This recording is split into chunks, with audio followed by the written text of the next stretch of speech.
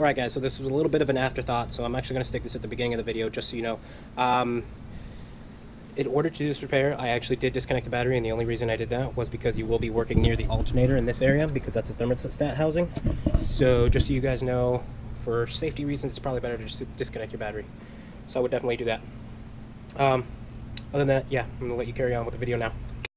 What is up everybody? Welcome to another video on my channel. So in today's video, I'm going to be doing a thermostat on a Volkswagen Bug. Now, I don't know what years this is, but it's a TDI, so it's got the turbo diesel in it.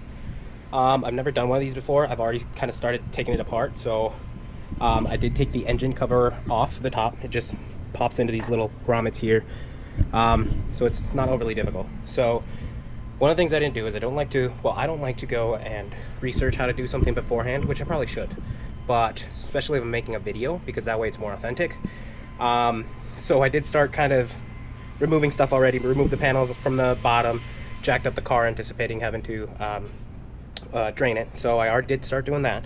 So one of the things I did was I took the uh, passenger side fan off and then come to realize you really don't need to take that off. So all it really is is the thermostat is located in this plastic housing right here and it looks like there's just two bolts, one on top right there and then there's also one on the bottom. So it's not going to be overly difficult to do. Uh, so this one is going to be kind of a quick video, but I did start doing that. And again, you don't have to take that fan off. Uh, I thought I had to just because I thought, okay, well, I need to create more space to get to it because I couldn't, you know, see it.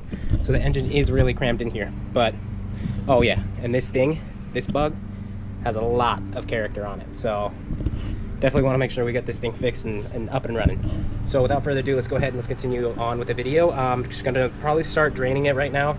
Uh, so I'm gonna go ahead and do that and then we'll continue on with the thermostat itself. All right guys, a little hot out today. So essentially what I did is I took out the lower radiator hose. It's located on the driver's side, right over there. I drained my system. So then the next part was I loosened up the hose that came up to the housing for the thermostat um, right over here. So I, brought, I took off the hose, brought it out of the way, and there's two 10 millimeter bolts. So there's a top one right there, and there's one on the very bottom. So to get to the one on the bottom, essentially what I did is I ended up using, it's a quarter inch ratchet with an extension. I have a swivel on there and I wanted to make sure to use a magnetic socket because due to the placement of that bolt, the last thing I want to do is drop it. So it actually is really tight uh, to kind of get it in there, but I was able to get it in there without removing the alternator or anything. So that does save on steps. Um, so essentially what I'm going to do now, I'm going to remove the housing and then put the new one, the new thermostat in there, and I'll kind of show you how, what, you know, what I'm looking for, just, you know, cleaning it up a little bit and whatnot. But uh, that's what I'm going to do. So I'll catch back up with you guys in a little bit. Alright guys, so as you can see, my thermostat is actually exposed. Oop, don't want to lose that. So this is the actual housing that I took off right here. So it was actually positioned in there like that. So you have a top 10 millimeter, a bottom 10 millimeter bolt, and then it just comes right out. So given that it has a little bit of an angle, it does make it a little tough, but it's not too crazy. And then essentially what you do is remove the thermostat, and I anticipate there's going to be some fluid leakage here. I do have my drain pan underneath, which I should probably double check and make sure it's in the right spot. But anyways, yeah, that's the thermostat. Well, it's just ready to come out, so. There we go. I'm just to go ahead.